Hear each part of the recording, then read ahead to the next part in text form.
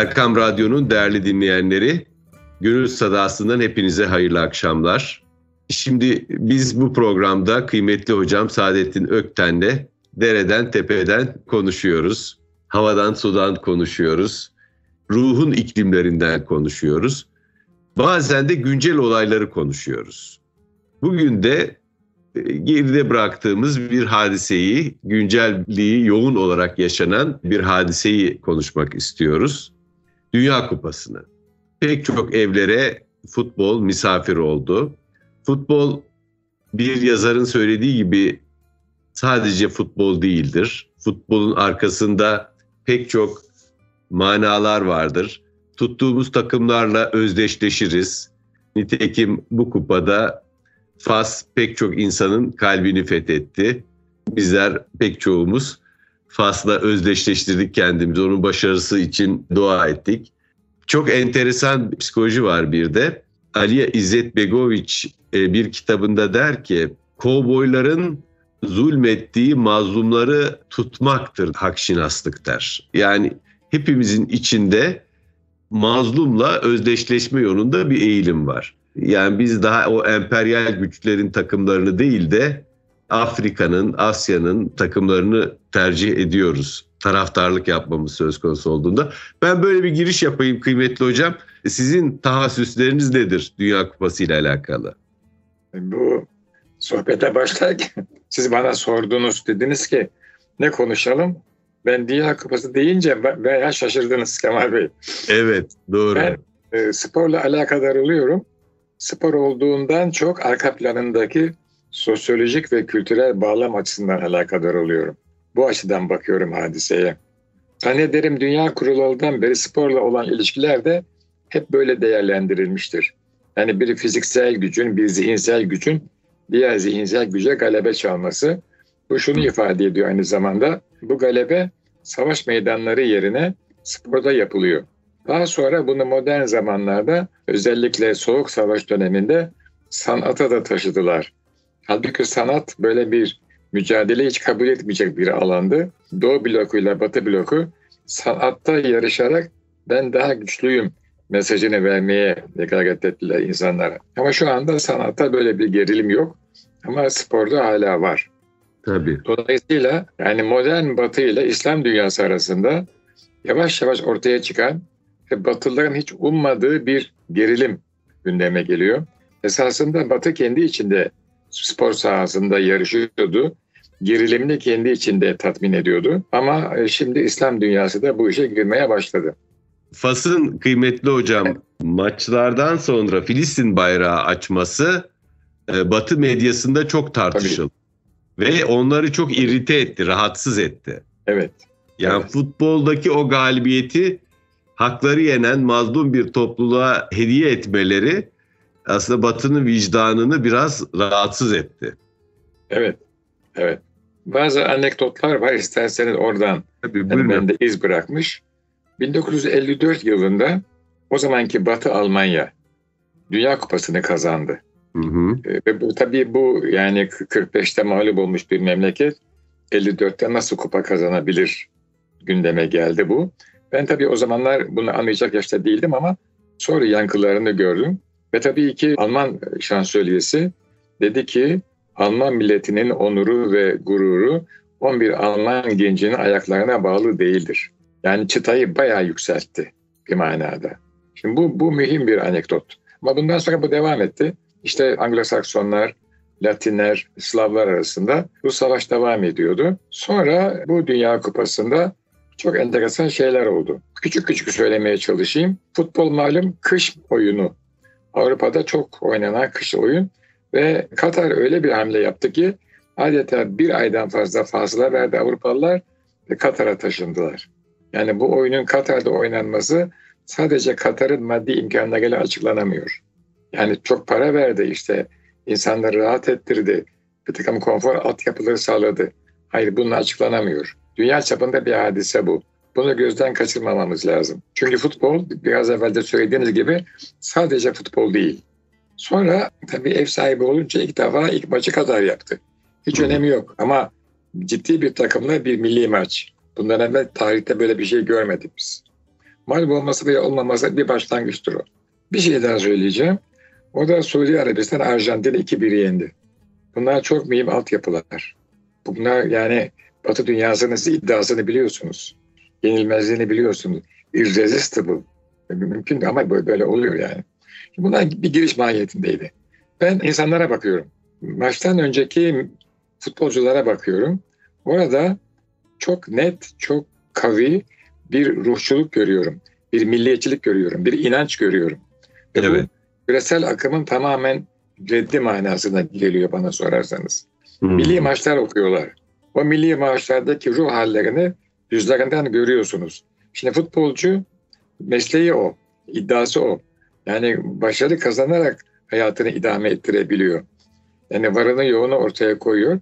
O milli maçlar okunurken onların ruh hali bana şunu ifade ediyor. Ben hala çok ciddi bir aidiyet mensubiyet sahibiyim. Ben hala belli bir milletin ferdiyim. Ben küreselci değilim. Bunu ifade ediyor bana o gerilimler. Tabii buradan yola çıkıyorum artık. Düşünce ve duygu dünyasında bazı açılımlar var. Bir ikincisi de insanlara bakıyorum. Şimdi tabii bu yanlış anlaşılmasın. İbadet vecdi içindeler sanki tezahürat yaparken. Kılıkları, kıyafetleri, e, bağırışları, çağrışları, davul çalışları vesaireleri kendilerinden geçiyorlar. Alt tarafı rahmetli Turgut Bey'in tabiriyle 22 tane çocuk bir tane de meşin top ayaklarıyla vuruyorlar. Öyle bir mana izafe ediyor ki ona insanlar adeta ben orada bakarken ruhlarının ihtiyacı olan inanç ve ibadet ve coşku ve vecd halini görüyorum. Kendilerinden geçmek istiyorlar. Alt tarafı nedir? 22 tane çocuk, bir tane meşin yuvarlak birbirlerine vuruyorlar. Bu. Bunlar benim için çok önemli altyapılar oluyor. Dolayısıyla hani artık modernitenin küreselcilerin insan sadece ekonomik bir aygıttır. Bir aidiyeti yoktur. İşte ona belli konforu verirseniz o da size çalışır, karşılığını öder. Bu sığlıktan kurtulduğunu görüyorum insanların. Ne yaptıklarını bilmiyorlar. Ama manen bir ihtiyaçları var. O ihtiyacı belki yanlış yerde arıyorlar. Ama o ihtiyacın arama aktivitesini o tezahüratlarda, o çılgınlıklarda, o yüz boyamalarda, o bağırışta, o çağrışta görmekteyim. Bendeki açılımlar böyle. Ne diyorsunuz? Hocam öncelikle sizi kutluyorum. Çok yakından bu güncelliği incelediğiniz için, fark ettiğiniz için size gönülden katılıyorum. Ben de çok iyi bir futbol izleyicisi değilim fakat Dünya Kupası'nı takip etmeye gayret ettim. Yani çünkü hakikaten orada başka bir şey var. Bir karnaval havası var, bir şenlik havası var, farklı milletlerin karşılaşması var. O karşılaşma sırasında tezahür eden, çarpışan duygular var. Ben Galeano diye bir yazar var, Eduardo Galeano. Onun bir sözü var. Modern dünyada affedilmeyen tek şey başarısızlık diyor. Futbolda da endüstriyel futbola baktığınız zaman başarısızlık çok affedilen bir şey değil. Daha sonuca odaklı, skora odaklı bir spor. O yüzden insanlar Latin Amerika futbolunu daha çok seviyorlar. Çünkü görselliğe de hitap ediyor. Çünkü seyir zevki de yaşatıyor insana. Burada da yine Latin Amerika takımlarına karşı Türkiye'li izleyicinin bir şeyi var. E, çoğumuzun bir sevgisi, merakı vardır. Yani seyir zevkinin yerine başarı ve görev duygusunu koyanlar daha çok Avrupa takımları, mekanik takımlar. Bugün mesela Fransa takımını böyle bir takım olarak görebiliriz. Yani Afrika'dan ve dünyanın diğer kolonilerinden topladığı, devşirdiği insanlarla kendine bir milli takım sözüm ona milli takım oluşturuyor e, ve onları gayet mekanik, çok da ruhu olmayan bir e, futbol e, oynatıyor. Yani taraftarın takımla bir gönül bağı olur, tuttuğu takımla yekruh olur, onunla özdeşleşir. Sosyal kimlik kuramı diye bir şey var psikolojide. Şöyle hatırladığım kadarıyla kendimizi algılama biçimimiz toplum içindeki rolümüze dair algılarımıza çok alakalı. Yani tuttuğumuz takımı iyi olması bizim de kendimizi iyi hissetmemize yol açabiliyor. O yüzden tuttuğumuz takım kaybettiğinde kahrolabiliyoruz. Yani tuttuğu takım e, bir taraftara olumlu bir sosyal kimlik kazandırabiliyor. Bu yeni kimlikle beraber bir öz saygı geliyor. Her maçta efendim kazandığı zaman kendi hanemize yazmış oluyoruz. Bir söz vardır takım kazandığı zaman yaver giden talih oyuncuların değil bizim talihimizdir diye. Ya yani insanlar öyle bir sevinç hissedebiliyorlar futbol karşılaşmalarında. Özel yani daha psikolojik ben anladığım taraftan konuşuyorum. Psikolojik bir açıklama yapmaya çalışıyorum. Özel hayatımızda bir düş kırıklığı olduğu zaman takımımızın başarılarıyla onu iyileştiriyoruz. Efendim takımımızın başarıları hayatla ilgili beklentilerimizi kısmen doyuruyor. Takımımız kaybettiğinde öz saygımız yara alabiliyor. Özdeşleşme de ne kadar yüksekse kendimizi takımımızla ne kadar efendim özdeşleştiriyorsak e, o kadar hayal kırıklığı yaşayabiliyoruz veya sevinç yaşayabiliyoruz. Şimdi bir kitap var. Değerli izleyicilerimiz bazen biz kitap önerdiğimiz zaman memnun oluyorlar. John Carroll. John Carroll'ın kitabının adı Benlik ve Ruh. Türkçe'ye çevrilmesine ben katkıda bulundum doğrusu. Böyle sevindiğim, övündüğüm kitaplar vardır. Aşağı yukarı şu anda Türkiye'de bir 20 tane kitap benim keşfim ve yayıncılara önermemle çevrildi ve iyi kitaplar bence. Onlardan birisi bu. John Carroll'ın Benlik ve Ruh. Avustralyalı bir sosyolog e, John Carroll. Burada da bu kitabında futbol diliyle savaş dili arasındaki özdeşliğe dikkat çeker. Mesela savunma ve hücum oyuncuları vardır. Rakip savunmayı darmadağın etmek vardır. Kuşatma altına almak vardır. Böyle futbol mecazları doğrudan savaşa göndermede bulunur. O yüzden o şey der, e, modern futbolda yeniden canlanan şey muhariplik güdüsü ve muharip ruhudur. Cesaret, mukavemet ve topluluğun yararını olarak özveride bulunmaya vurguda bulunan bir muharip ruhu. Futbola doğrudan yansıtılan bir şey vardır. Hep onlar adeta gladyatör gibi böyle savaşçı gibi gördüğümüz bir şeydir. E, dolayısıyla biz yani e, bir diyelim ki bir İslam ülkesiyle bir emperyalist güç bir karşı karşıya geldiğinde o takım bizim adımıza savaşıyormuş gibi, geçmişin hesaplarını dürecekmiş gibi bir psikoloji içine girebiliyoruz. Buyurun efendim, sonra devam ederim yine. Batı dünyası da giriyor sadece biz değil yani Batı dünyası da e, sizi mağlup ettiği zaman bir başka noktaya doğru evriliyor düşünceleri. Ben, ben şunu merak etmişimdir. İnsanlar niçin futbol kulübü tutarlar? Yani neden böyle bir ihtiyaç hissederler? amatör insanlar, sıradan insanlar belli bir kulübün sevdalısı oluyorlar. En basiti en basiti zaman ayırıyorlar. Yani para, enerji vesaire onları hiç söz etmiyorum. Zaman ayırıyorlar ve bakıyorlar. İnsanlarda bir aidiyet eksikliği var Kemal Bey. Eskiden düşündüğüm zaman bu aidiyet eksikliği de var mıydı? Mutlaka vardı. İnsanın tabiatı değişmiyor. Peki nasıl bu aidiyet eksikliği kompanse ediliyordu? tatmin ediliyordu onu düşünüyorum. Eskiden yani nasıl kurumlar vardı ki e, insanlar bir aidiyet eksikliği hissetmiyorlardı? Cevap şu, eskiden cemaatler vardı, dergahlar vardı, topluluklar vardı. En azından mahalle vardı ve insanlar bir mahalleye çok nötr bir kavram mahalle ama bir rengi var, bir aidiyeti var, bir mensubiyeti var. Sizi sarıp sarmalıyor. Dolayısıyla modern hayatta birey yalnız kaldı. Yalnız kalınca en basiti, en kolayı bir kulübe aynı zamanda biraz evvel de söylediğiniz bir güç gösterisi, bir Tabii. muhaliflik gösterisi. Bir Özellikle erkekler için bir şey kıymetli hocam. Yani erkekliğini gösterdiği bir alan. Evet. Bir gladyatör evet, savaşı gibi. Evet. Ve yani bu son maçları seyrediyoruz. Çok sert bir oyun. Ve kimse de bu sertlikten yakınmıyor. Tabiatında var bu sertlik diyor. Dolayısıyla bu aidiyeti eski zamanlarda bir başka şekilde tatmin ediyorlardı insanlar. Önce belki ruhi olarak bir yere sığınıyorlardı ama o sığınma, o aidiyet, o mensubiyet onları bir müddet sonra ahlaken de daha rafine ediyordu. Ama Hı. şimdi futbolda tam tersi ahlaken rafine etmek yerine ahlaken vahşileştiriyor. Burada tehdit insan... edildi tabii. Burada çok güzel bir şekilde baştan güzel önlemler alarak mesela alkolü evet. stadyumlara sokmayarak onu tedip ettiler. Yoksa çok vahşi olaylarla da karşılaşabilirdik. Çok rahat, çok rahat. Çünkü nefsin önündeki bütün manaları kaldırıyorsunuz. Disipline dikkat etmezseniz insanın içindeki o canavar, o ben canavarı ve diğerine hakim olma, onu itaatı altına alma canavarı ortaya çıkabilir. Bir tanesi bu. Birisi de biraz evvel söylediğiniz milli takımlar meselesi. Şimdi mesela ben milli takımlara bakıyorum. Avrupalı bir milli takım. Yarısı zenci. Şimdi bu şunu gösteriyor. Bu zenci insanlar Afrikalı. Siz Afrika'yı 200 senedir sömürmüşsünüz ve aşağı bir ırk olarak görmüşsünüz.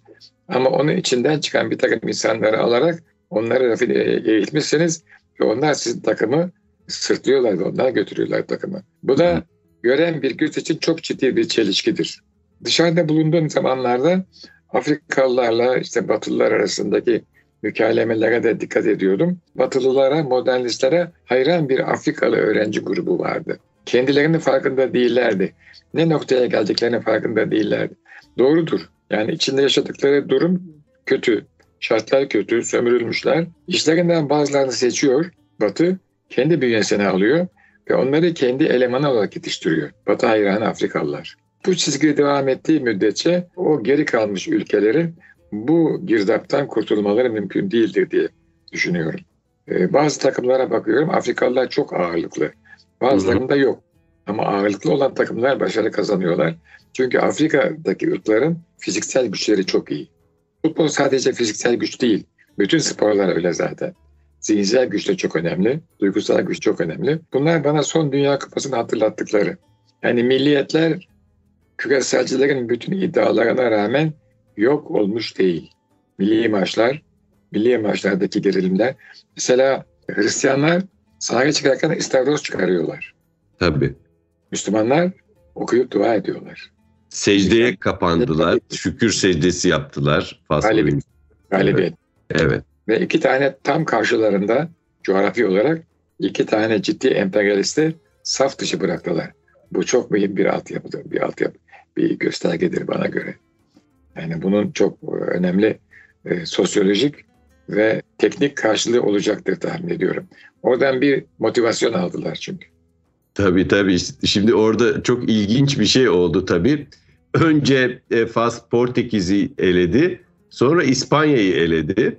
Aynı Endülüs'ün fethinde gidilen rotayla Pirenelere kadar geldi dayandı. Evet. evet. Ama orada Fransa'ya mağlup oldu maalesef. Evet. O, o ayrı bir hikaye yani. En azından ilk defa oluyor böyle bir şey. Tabii. Ve, Pek çok insanın gönlünde bu tür şeyler, çağrışımlar oldu. Ben e, dikkat etmedim. O günde enteresan bir şey Fas'ın galibiyetinden sonra TRT Endülüs'ün keşfi diye bir belgesel koymuş hemen arkasında. İyi, çok güzel, çok güzel. Kaçırmamak lazım bu fırsatları. Evet, evet. Şimdi ben az önce erkeklik duygusundan bahsettim. E, biraz modern futbolda modern beşeriyetin yani incelikleri ne olursa olsun daha ziyade savaş kahramanlarındaki erkeklik duygusuna futbolda bir atıf var. Yani evet. savaşçılık, erkeklik, efendim, e, başarmak, fethetmek, cesaret, korkusuzluk, soğukkanlılık gibi erkekliğe atfedilen e, özellikler modern futbol oyuncusunda görmek istediğimiz savaşçı erdemleri oluşturuyor. Futbol oyunu da taraftarın nezdinde dünyayı iyiler ve kötüler, bizden olanlar ve olmayanlar, bizim takım ve diğerleri olarak kalın çizgilerle ikiye ayırmaya yarıyor. Biz iyiler kötülere karşı mücadele ediyoruz. Şimdi ben anlamam mesela kıymetli hocam. Yani iki bir şehrin takımı Fenerbahçe ve Beşiktaş. Fenerbahçe'nin e, taraftarı Beşiktaş'ın taraftarına, Galatasaray'ın taraftarına veya takımlardan ölesiye kimileri nefret eder. Bu nefret duygusunu ben çok anlayamıyorum. Orada işte o psikolojik özdeşimin çok kuvvetli olmasıyla izah edebiliyoruz bunu. Ben hakikatin safındayım. Bizim tarafımız hakikat adına savaşıyor. Ee, öbür taraf batılın tarafı gibi böyle insanın zihnini böyle yanıltan durumlar söz konusu olabiliyor. Yani sadece masallarda olabilecek bir naiflik gündelik hayatta futbol ve siyasette adeta bir karşılık buluyor. Biz iyileriz ve amaca ulaşmak için her yol mübahtır. Bu uğurda ölümüne savaşmamız gerekir. Taşıdığımız formanın şerefi vardır. Bir tarafta bu tarafta olmak ayrıcalıktır ve bir de tabii çok meşhur bir şey vardır bizim stadyumlarımızda en büyük taraftar futbolcular sahtekar diye bağırırlar. yani bir tür aslında gerideki emek asıl emekçinin taraftar olduğunu, e, çileyi çekenin o olduğunu söylerler ki haksız da değildirler. Çünkü onlar bu işten milyonlar kazanmamaktadır. Futbolcu her halükarda bir endüstrinin bir parçasıdır. Ee, yani bize e, yaşattıklarıyla güzel oynandığı zaman estetik tarafları da olabilen, şiirsel tarafları da olabilen bir spor. Ama bilmiyorum yani insanların hayatında bazı insanların hayatında çok yer e, işgal etse de ben uzun bir süredir Dünya Kupaları, milli maçlar dışında ilgimi kaybetmiş durumdayım. Bilmiyorum siz evet. takip ediyor musunuz? Yok yok hayır ben hatta ben milli maçları da takip etmiyorum ama bu Dünya Kupası e, biraz takip ettim. Belki evde olduğum için de bunun bir faktör olabilir. Ve burada işte gördüğüm şeyler o milliyetçilik duygusunun hala çok diri olduğunu gördüm insanlarda. Mesela milli maç söylenirken tribünleri gösteriyor. E, bu çok mühim bir faktör yani insanlar büyük bir coşkuyla söylüyorlar. Tabii bu küreselcilerin hani bütün dünya insanları tek tip insanlardır olduğu bir yalanlayan sosyolojik bir tespit yapıyorum ben burada. Bir de yukarıda da söylemeye çalıştığım gibi bir vecd haline girmek istiyor insanlar. Vecd haline girişin belki vesilesi yanlış ama ruhen buna ihtiyaçları var. Kendilerini kaybetmek istiyorlar. Tabii. Bir yani Tabii. sıradan varlığın üzerinde bir başka düzleme çıkmak istiyorlar. Bu da beni çok etkiliyor. Yani halledecek. Bir arınma ayini gibi görüyorum ben. Bir arınma evet, gibi. Evet, evet. Aynen öyle. Bir ayin gibi, bir kadim zamanların ayini gibi görüyorum. Aslında bir yönden de kıymetli hocam her insanın içinde bir saldırganlık dürtüsü gezinir. Çoğumuz onu tedip ederiz, bir köşeye tutarız, saklarız. Futbola silmiş olan bu erkek dilinde, tırnak içinde erkek dilinde hepimizin içinde geze duran o saldırganlık dürtüsünün bir ehlileştirilmesi var. Yani bir kurallar çerçevesinde saldırganlık. Yani onu biraz terbiye ediyoruz içimizdeki e, o taraftarlık hissiyle. Dışarıya vurmadan sözde belki e, tezahüratla dışarı vurmuş oluyoruz. E, sınırlı sorumlu ifade edilen bir saldırganlık diyebiliriz. İçimizde bekleyen öfke mümkün olan en az tahripkar bir biçimde dışarı evet. E, vurulmuş e, oluyor.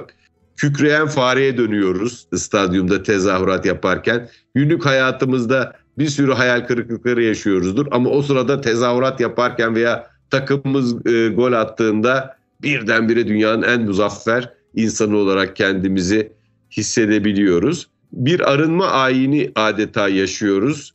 Şöyle ki stadyumlardan yayılan o derin uğultu bize burada neredeyse yarı dini bir ayin icra edildiği e, hissini veriyor.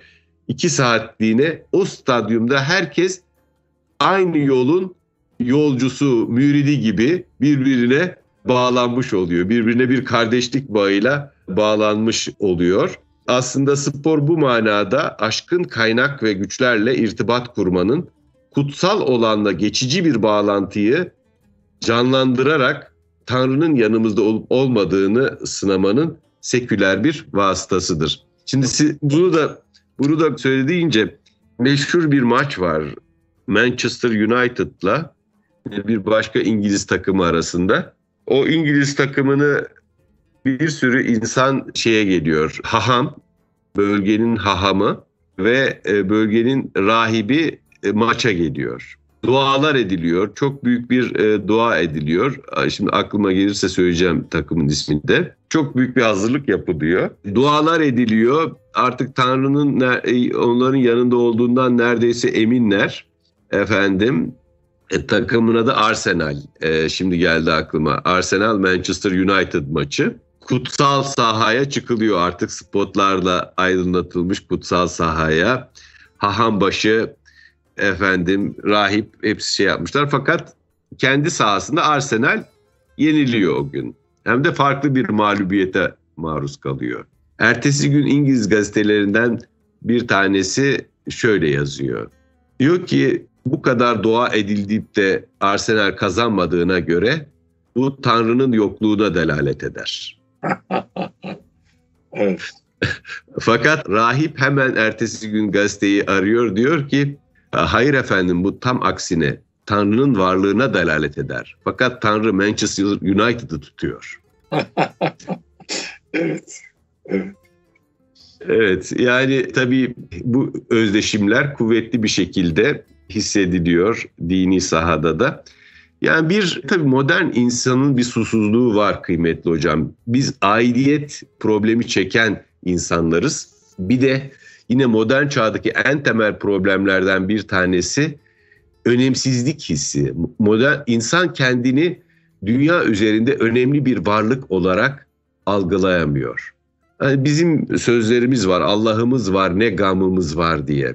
Baya Allah bes, baki, heves diyoruz. Seküler bir kültürün içinde bunu söylemek mümkün değil. Yani neye bes, diğerine he, e, bakiyesine heves diyeceksiniz. Dolayısıyla insanlar çok büyük bir yalnızlık, tutunma ihtiyacı, bir yere kendilerini bitiştirme ihtiyacı hissediyorlar. Futbolda o aidiyeti sağlayan şeylerden bir tanesi. Zahmetsiz bir şekilde sağlıyor. Evet ve en kolayı. Ve en kolay evet bir yani haftada bir gittiğiniz o stadyumda gittiğiniz ayin veya efendim ekran karşısında geçirdiğiniz bir buçuk saat dışında sizden özel bir bağlılık istemiyor. Siz öyle Ama, söyleyince evet. aklıma şey geldi. Hoşça bak zatına kim zübde alemsin sen. Merdümi dide ekvan olan ademsin sen. E, Şeyh Galib'in e, bir e, beyti bu. Dolayısıyla seküler dünya insana çok sıradan muamele ediyor ve insan bunu kaldıramıyor. İşte futbolda bu sıradanlık toplumsal bir sıradanlığa dönüşünce en azından belli bir topluluğa ait olduğunuzu hissediyorsunuz. Ve o toplumun başarı göstergesi de tuttuğunuz takım. Bu ister mahalle takımı olsun, ister şehir takımı, isterse milli takım olsun. Bunu çok net gördüm ben. Yani Hırvatistan diye küçücük bir ülke var. Geldiği yer çok önemli. Yani Hırvat milliyetçiliği bu var, bunu da biliyorum ben. Almanlara karşı özellikle 19. 20. yüzyılda yapılan bir milliyetçilik. Ben adeta o kökleri okuyorum. Oradaki insanların coşkusundan, vecdinden, kendine geçişinden. Bu kendine geçişin sebebi hiç önemli değil. Ama bu, bu bir ihtiyaç. Şu anda yanlış bir kendine geçiş emaresi üzerinden gidiyorlar. Ama bu şunu ifade ediyor. Yanlış da olsa, yapay da olsa insanlar bir vecd haline muhtaçlar. Bunu görmekteyim. Futbol böyle bendeki izlenimler. Şimdiki halde bu kadar bakalım da ona Eyvallah kıymetli hocam. Çok teşekkür ederiz bizimle bu izlenimlerinizi paylaştığınız için. Ee, biraz güncel bir program yapmış olduk ama insanın daha derindeki ihtiyaçlarına nasıl karşılık geldiğini stadyumların e, ve bu tür toplu gösterilerin onlara değinmiş olduk. Futbol sadece bir oyun değildir. Futbol sadece futbol değildir. Sözünü hatırlatarak hitama erdirelim ve bütün bu aidiyetlerin, aidiyet eksikliklerinin neticede susuzluğun giderilmesinin daha varoluşsal, daha temel yöntemlerine dikkat çekerek de bitirmiş olalım. Evet. Yani buradaki susuzluk sadece maçlarla dinmez. Bilmez. Evet. Daha derin bir kaynaktan, daha duru bir pınardan su içmek lazım. Aynen öyle efendim. Evet. Teşekkür ederim. Ee, sağ olunuz kıymetli hocam. Erkam Radyo'nun değerli dinleyenleri, kıymetli hocam Saadettin Ökten ve ben Deniz Kemal Sayar bir gönül sadasının daha sonuna geldik. Hepinize hayırlı akşamlar diliyoruz efendim.